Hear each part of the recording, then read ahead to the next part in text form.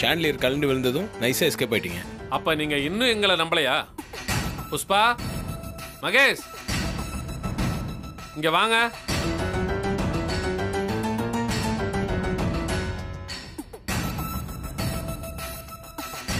இங்க பாருங்க. பொண்டாட்டி புள்ளையோட வீட்ல இருக்கோம். நாங்க போலியான குடும்பம்னா எப்படிங்க ஒண்ணா இருக்க முடியும்?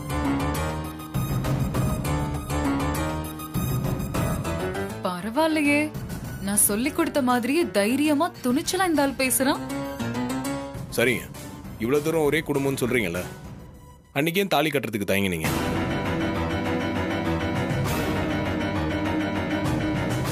சரி இப்போ தாலி கட்ட சொன்னால் கட்டிடுவீங்களா? என்ன தம்பி? தாலி உங்களுக்கு விளையாட்டு பொருளா போச்சா? எப்ப பாரு தாலி கட்டுங்க தாலி கட்டுங்கன்னு சொல்றீங்க. தாலியோட புனிதம் உங்களுக்கு தெரியாதா? அதெல்லாம் ரொம்ப தப்பு தம்பி. ஏங்க என்ன தாலியோட விளையாடாதேன்னு சொல்கிறீங்களே நீங்கள் ஒரு பொண்ணு வாழ்க்கையோட விளையாடிட்டு இருக்கீங்க. அதுக்கு என்ன பண்ணலாம்? சார் நாங்கள் யார் வாழ்க்கையிலும் விளையாடல. அந்த தீபா தான் என்ன ஏமாத்திட்டு உங்களை வந்து கல்யாணம் பண்ணிக்கிட்டான் நாங்களே அந்த அவமானம் தாங்க முடியாம கூனி குறுக்கி வாழ்ந்துட்டு இருக்கோம். நீங்க என்னடான்னா நாங்க விளையாண்டதா சொல்றீங்க. ஏங்க சும்மா நீங்கள் ஆள் ஆளுக்கு சென்டிமெண்ட்டாக பேசினா நான் நம்பிடணுமா இப்போவும் சொல்கிறேன் நீங்கள் மூணு பேரும் ஒரே குடும்பத்தை சேர்ந்தவங்க இல்லை. உங்களுக்கும் இவங்களுக்கும் கல்யாணம் ஆகவே இல்லை. நான் ரெஜிஸ்டர் ஆஃபீஸில் செக் பண்ணிட்டேன். நீங்கள் சொன்ன தேதியில் உங்கள் ரெண்டு பேருக்கும் கல்யாணம் நடக்கலை. ஒரு பொய்யான டேட்டை சொல்லி என்னை ஏமாத்த பார்க்குறீங்களா அட என்ன சார் உங்களோட பெரிய ரோதனையா போச்சு? எனக்கும் புஷ்பாவுக்கும் கல்யாணம் நடந்துச்சு. எங்களுக்கு பிறந்த பையன் தான் மகேஷ். ஆமா இதை எத்தனை வாட்டி தான் உங்களுக்கு சொல்றது நானு? அதை புரிஞ்சுக்காம டார்ச்சர் பண்றீங்க சார் நீங்க. எங்களுக்கு கல்யாணம் நடந்ததுக்கான மேரேஜ் சர்டிபிகேட் கூட எங்கள்கிட்ட இருக்கு. பாக்குறீங்களா?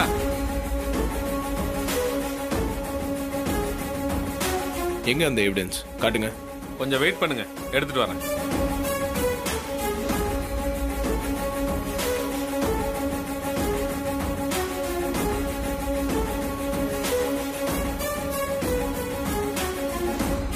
இந்தாங்க சார் பாருங்க.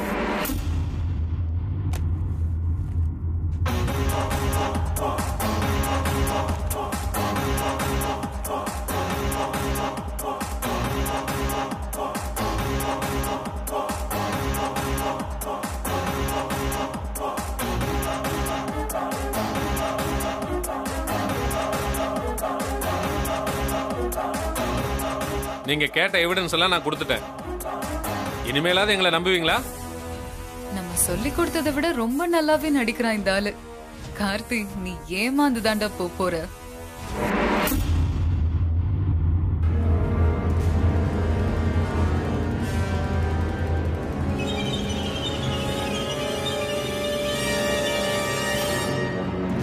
நீயும் இங்கே தான் இருக்கியா? கதிர் துற விஷயத்துல தான் உனக்கு சம்மந்தம் இருக்குன்னு பார்த்தா இவங்க விஷயத்துலையும் பின்னாடி நீ தான் இருக்கியா? என்னை ஜெயிச்சுட்டு தான் ரொம்ப சந்தோஷப்படாத. அடுத்து என்ன நடக்க போகுதுன்னு மட்டும் பாரு.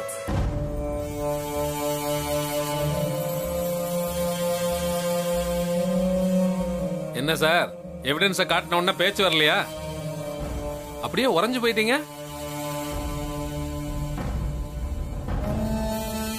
சாரி சார் உங்க மேரேஜ் சர்டிஃபிகேட் ரொம்ப பக்காவா இருக்கு.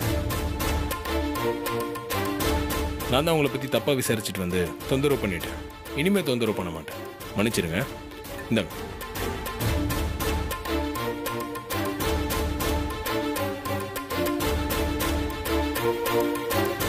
நீங்கள் ரொம்ப படித்தவர் பெரிய கம்பெனியோட எம்டி அதனால் சொன்ன சொல்ல காப்பாற்றுவீங்கன்னு நினைக்கிறேன். இனிமே வந்து எங்களை தொந்தரவு கொடுக்காம இருங்க. அது போதும்.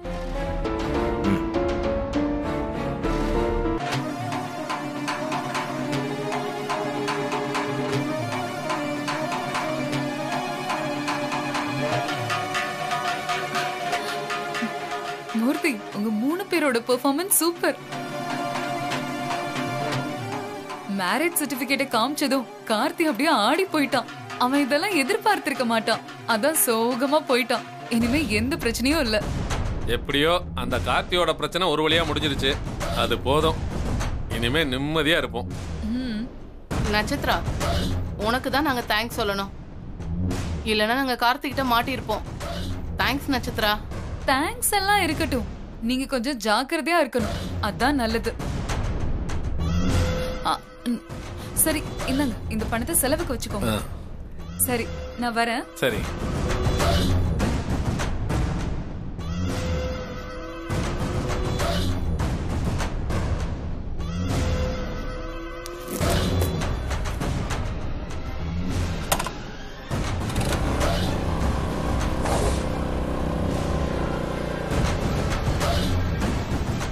இன்னும் கொஞ்ச நேரத்தில் எல்லாம் தலைக்கீழாக மாறப்போகுது. நீ மோசமானவன் எனக்கு தெரியும். ஆனால் இவ்வளோ மோசமானவளாக இருப்பேன்னு நான் எதிர்பார்க்கவே இல்லை. எல்லாம் பணத்துக்காக ஆசைப்பட்டு தான் எனக்கு கல்யாணம் பண்ணணும்னு நினச்சேன். உன்னோட எல்லா கிரிமினல் வேலைக்கும்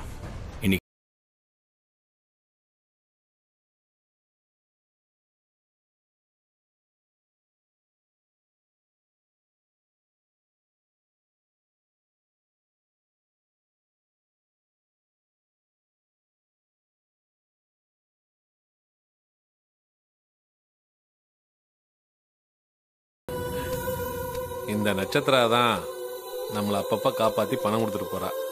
இந்த மாதிரி நாலஞ்சு பார்ட்டி கிடைச்சா போதும். ம். நம்ம நடிக்காமயே பணம் சம்பாரிச்சிடலாம். சரி சரி. பேசுனதெல்லாம் போதும். எங்க பங்கை பிரிச்சு கொடு. நான் போகணும் சார் இந்த தடவையா உங்களுக்கு அதிகமாகவும் எங்களுக்கு கம்மியாகவும் பிரித்து கொடுக்காதீங்க. ஈக்குவல் ஷேர் வேணும். ஆமா ஆமா. தம்பி சொல்ற மாதிரி கரெக்டா பிரிச்சு கொடு. சரி சரி. தரேன். இந்தா.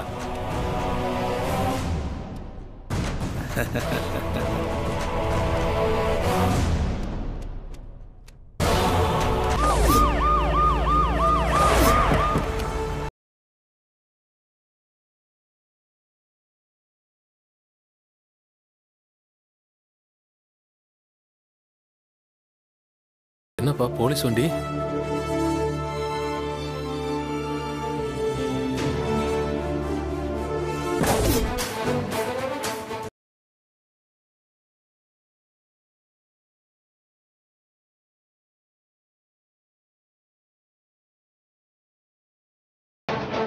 மூர்த்தி நீதானா?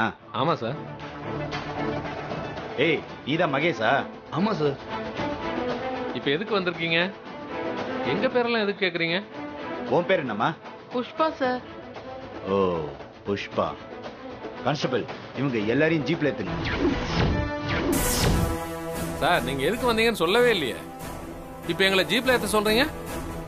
நாங்க என்ன சார் தப்பு செஞ்சோம்? எதுக்கு இப்படி நடந்துக்கிறீங்க? சார் காரணம் சொல்லாமல் எங்களை ஸ்டேஷன் கூட்டு போகிற தப்பு சார் என்ன காரணம்னு சொல்லுங்கள் சார் ஓ காரணம் சொன்னாதான் வருவீங்களோ? இல்லைன்னா வரமாட்டீங்களோ? எனக்கு உங்க மொத்த குடும்பத்து மேலயும் ஒரு கேஸ்ல சந்தேகம் இருக்கு. அதான் ஸ்டேஷனுக்கு கூட்டிட்டு போய் விசாரிக்கலாம்னு பாக்குறேன். என்ன சார் சந்தேகம்? எல்லாத்தையும் இங்க சொல்லிட்டு இருக்க முடியாது. ஸ்டேஷனுக்கு வாங்க வேலை வரைய சொல்றேன். கான்ஸ்டபிள் உங்களை வண்டியில ஏத்துங்க. சரிங்க சார். என்ன நிக்கிறீங்க? வாங்க வண்டியில போயிருங்க வாங்க.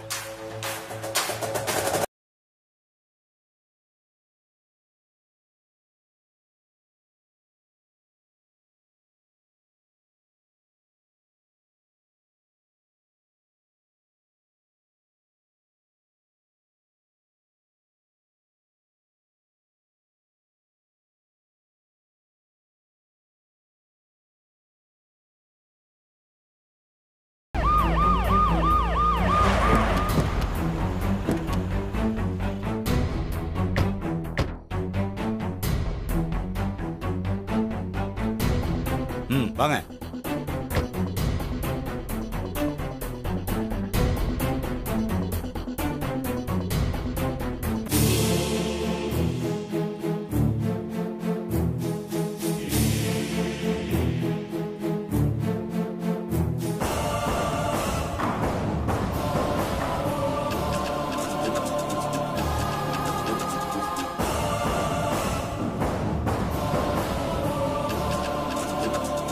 வாங்க அநேகமா இது அந்த கார்த்தி வேலையா தான் இருக்கும். யார் சொல்லி கூப்பிட்டு வந்தா என்ன? போலீஸ் ஸ்டேஷன்னாலே கொஞ்சம் பயமா தான் இருக்கு. இருந்தாலும் பயத்தை காட்டிட்டா நம்மளை பங்கம் பண்ணிடுவானுங்க அதனால கொஞ்சம் கெத்தா இருக்கிற மாதிரி காட்டிக்குவோம்.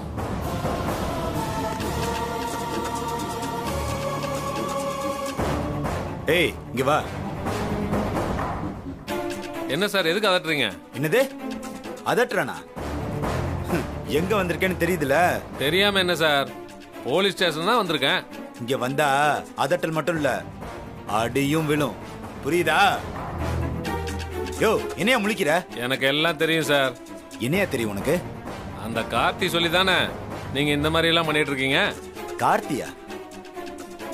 என்னையா உளர்ற? வளரல சார். சீரியஸா தான் சொல்றேன். அந்த கார்த்தி தூண்டி விட்டு தான் இதெல்லாம் நடக்குதுன்னு தெரியாதா எனக்கு? என்னையா லூசு மாதிரி பேசிக்கிட்டு இருக்க? ஆ? என்ன நடந்திருக்கு? எதுக்காக உங்களை கூட்டிட்டு வந்திருக்கோன்னு தெரிஞ்சு பேசுறியா? தெரியாம பேசுறியா? அத நீங்க சொன்னா தானே சார் தெரியும். கூட்டிட்டு வந்துட்டு எதுக்காக கூட்டிட்டு வந்தோன்னு எங்களுக்கு தெரியுமான்னு கேட்டா நாங்க என்ன சார் சொல்றது? அதான் அவ கேக்குறாள்ல சார். எதுக்கு சார் கூட்டு வந்திருக்கீங்க? ஆ? உங்க புள்ள மகேஷ் இருக்கான்ல அவன் ஒரு கொலையை பண்ணிட்டு வந்திருக்கான். சார். என்னது கொலையா? சார் யார் சார் சொன்னது? நான் கொலையெல்லாம் பண்ணல சார். டேய் எந்த கொலைகாரன்டா கொலை செஞ்சதை ஒத்துக்கிட்டு இருக்கான்? இங்க பார் எங்க கிட்ட ஆதாரம் இருக்க போய் தான் மொத்த குடும்பத்தையும் தூக்கிட்டு வந்திருக்கோம்.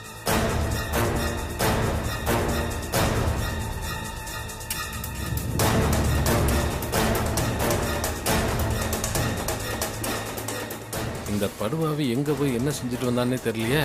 சம்பந்தம் இல்லாம நம்மளை கூட்டு வச்சு டார்ச்சர் பண்றானே இவனுக்கு ஆத்தால நடிச்ச பாவத்துக்கு உசுரோட கொல்லி போட்டுருவான் போல இருக்கே யாரை எதுக்கு கொன்னானோ இங்க நம்ம தலை உருண்டும் போல இருக்கே தேவையில்லாம என்ன கூப்பிட்டு வந்து டார்ச்சர் பண்ணாதீங்க சார் யோ தள்ளி போயா தள்ளு ஏண்டா கொலையும் பண்ணிட்டு ஸ்டேஷன்ல வந்து என்னைய ஏத்தி பேசுறியா ஆ? Sir sir sir sir sir sir sir லட்டிய குடியா என்னைய ஏத்தி பேசுவ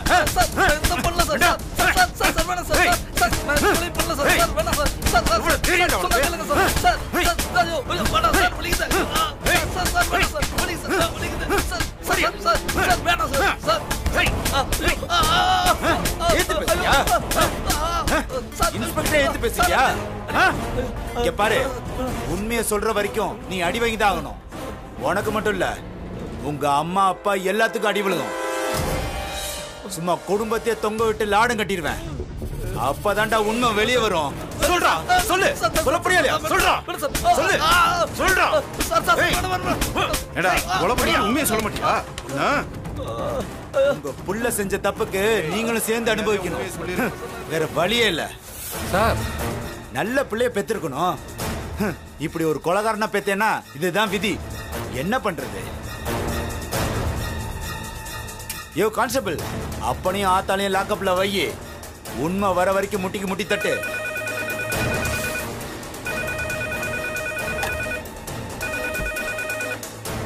ஹலோ? ஏய் இதுக்கு மேலே நம்ம பேசாம இருந்தா அவனோட நம்மளையும் ஜெயிலுக்கு அனுப்பிடுவாங்க போல இருக்கு. பேசாம உண்மையை சொல்லிடுவோமா? ஆமாய்யா. சொல்லிடலாம். ஆ ஓகே. இந்த பரதேசி பயலுக்காக நாம எதுக்கு அடி வாங்கணும்? ஆமாம். ஏய் என்ன ரெண்டு பேரும் ரகசியம் பேசிட்டு இருக்கீங்க? சார் உங்ககிட்ட நாங்கள் ஒரு உண்மையை சொல்லணும் சார். அதானே நானும் சொல்றேன். மரியாதையா சொல்லிருங்க. உங்க மகன் கொலை பண்ணது உண்மை தானே? அந்த உண்மை இல்லை சார். அதை விட பெரிய உண்மை.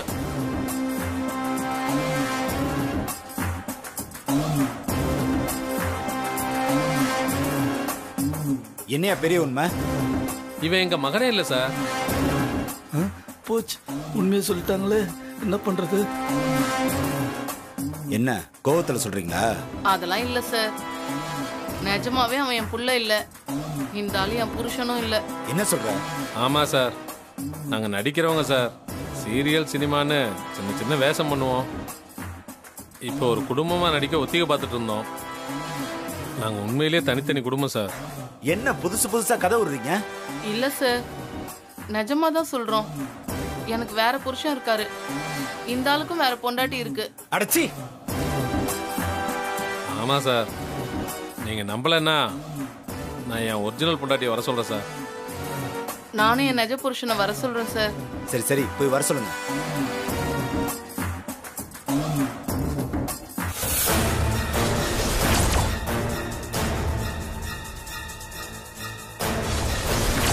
ஸ்டேஷனுக்கு வா. என்னை வந்து கூட்டிட்டு போ. எனக்கு பயமா இருக்கு. நான் போலீஸ் ஸ்டேஷனில் ஒரு சின்ன சிக்கலில் இருக்கேன். நீ வந்தால் தான் விடுவாங்கிறாங்க. நீ கொஞ்சம் சீக்கிரம் வா.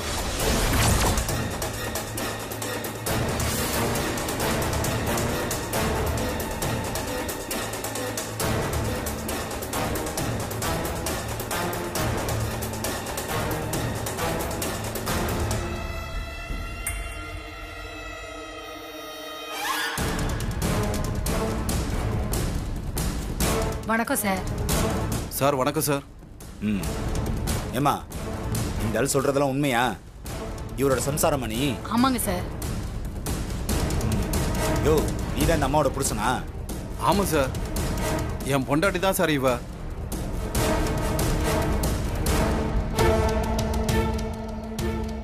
இப்போ நீங்க என்ன பண்றீங்க?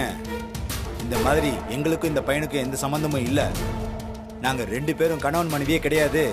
இந்த மகேஷ் என் பையனே கிடையாது அப்படின்னு சொல்லி ஒரு சைன் பண்ணுங்க. ஆ சரிங்க சார். Writer sir. இவங்க கிட்ட ஒரு ஸ்டேட்மெண்ட் எழுதி வாங்கி ஒரு சைன் வாங்கிக்கோங்க. சரிங்க சார்.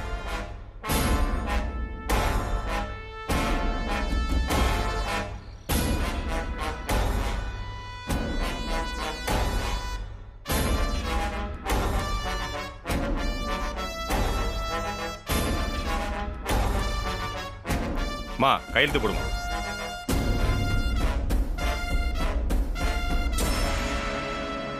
இங்க நீ கையெழுத்து போடு. சாரை போய் பாரு. நீங்களும் போங்கம்மா.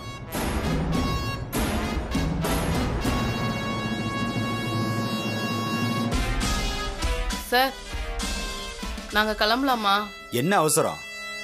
கொஞ்சம் இருங்க போலாம். இல்ல சார் வீட்ல போய் சமைக்கணும் சார். உங்களை விசாரிக்க இன்னொரு பெரிய அதிகாரி வராரு.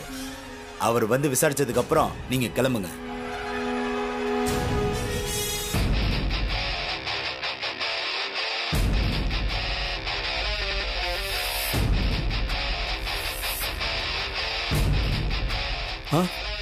கார்த்தி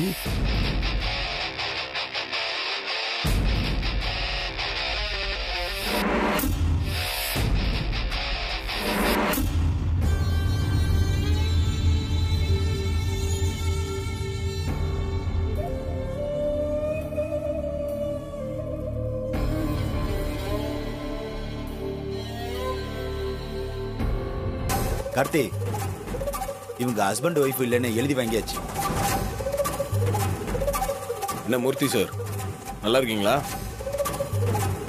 உங்க வீட்டில் எல்லாரும் நல்லா இருக்காங்களே ஸோ எல்லாமே நாடகம். இல்லை? நீங்க அப்பா இவங்க அம்மா இவரு உங்க புள்ள. எல்லாமே வேஷம்ல? எதுக்கு கார்த்தி இவங்க கிட்ட போய் பேசிட்டு இருக்கீங்க? நீங்க ஊன்னு ஒரு வார்த்தை சொல்லுங்க. எல்லாத்தையும் உள்ள வச்சு லாடம் கட்டிடுறேன். இல்ல சார். அதெல்லாம் வேண்டாம். இவங்களை தண்டிக்கிறது என்னோட எண்ணம் இல்ல. உங்களால ஒரு அப்பாவி பொண்ணு மோசமா பாதிக்கப்பட்டிருக்கா. அவளுக்கு நியாயம் கிடைக்கணும். அது மட்டும்தான் என் எண்ணம்.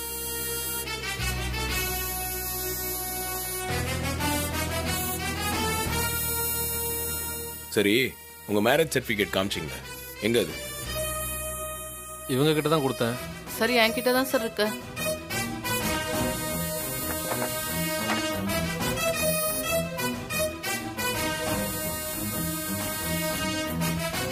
சார் சாரி சார் என்ன சாரி பாவம் என் தீபா. அவங்ககிட்ட எந்த ஆதாரமும் இல்லைன்னு தானே அவங்களை ஏமாத்துனீங்க. இப்போ என்கிட்ட எல்லா ஆதாரமும் இருக்கு. உங்களுக்கு எல்லாம் வெக்கமா இல்ல? ஐயா பணத்துக்கு ஆசைப்பட்டு இப்படி எல்லாம் பண்ணிட்டோம். உங்க கால்ல வேணாலும் விழுந்து மன்னிப்பு கேக்குறோம். எங்களை விட்டுருங்க ஐயா. அப்படியெல்லாம் விட முடியாது. உங்க மன்னிப்பு ஒன்றும் எனக்கு தேவையில்ல.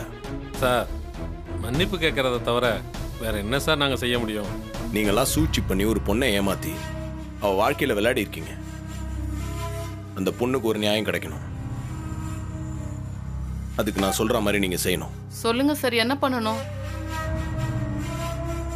நான் கூப்பிடும்போது நீங்க எல்லாம் வந்து எல்லா உண்மையும் எல்லாரும் முன்னாடி சொல்லணும். தீபாக்கு நீங்க பண்ண துரோகம் நட்சத்திராக்கும் உங்களுக்கும் உள்ள தொடர்பு இதை எல்லாத்தையும் எல்லாரும் முன்னாடி சொல்லணும். சொல்லுவீங்களா?